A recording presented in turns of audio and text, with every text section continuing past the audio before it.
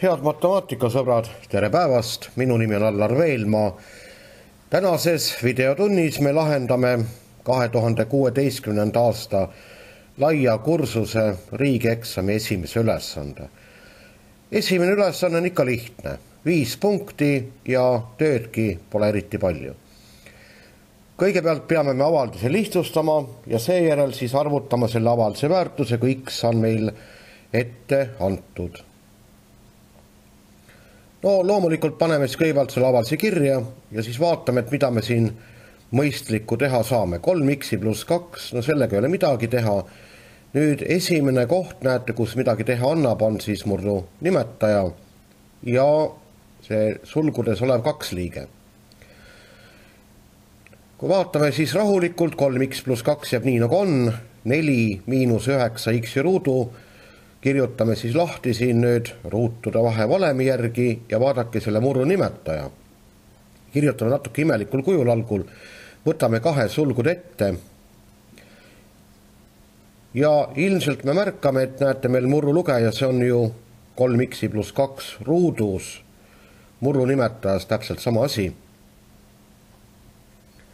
et siin on võimalik ju taandada, taandame peast, maha tõmbama midagi siin ei pea sellist asja pole kusagil küll kirjas, et peaks kirjalikult taandama. nii et taandasime ära ja saame vastuseks, et see avaldis lihtsustub kujule kaks miinus kolm x-i jagatud neljaga. nüüd teine osa, vot siin on selline soovitus, et loomulikult saab seda x-i väärtust ju taskuarvutiga arvutada, aga eksamitöös tuleks see siiski kirjalikult ära näidata, et kuidas see arvutamine käib nii et kakskümmend seitse astmes miinus üks kolmandik, negatiivne astme näitaja. järelikult võtame siis, näete, üks jagatud kakskümmend seitse astmes üks kolmandik ja murruline asendaja. nii et kokku tuleb meil siin väärtuseks üks kolmandik. asendame, nii et paneme siis kirja ka sellise lause eksamitöösse, leian avalduse väärtuse, kui x on üks kolmandik. ja asendame nii et kaks miinus kolm x jagatud neljaga, x-i asemele paneme nüüd ühe kolmandiku ja loomulikult arvutame siin peast. kolm korda üks kolmandik annab meile ühe, kaks miinus üks on üks, vastus on üks neljandik.